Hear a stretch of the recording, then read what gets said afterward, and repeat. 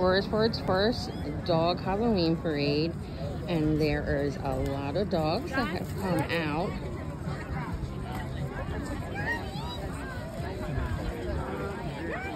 Very cute costumes for everybody.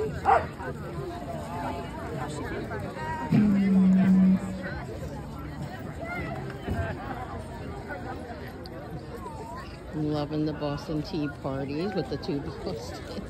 God, how cute is that?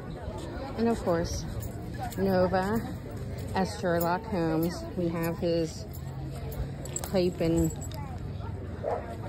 his pipe and his magnifier, though he won't show, he won't hold the pipe in his mouth, but I tried.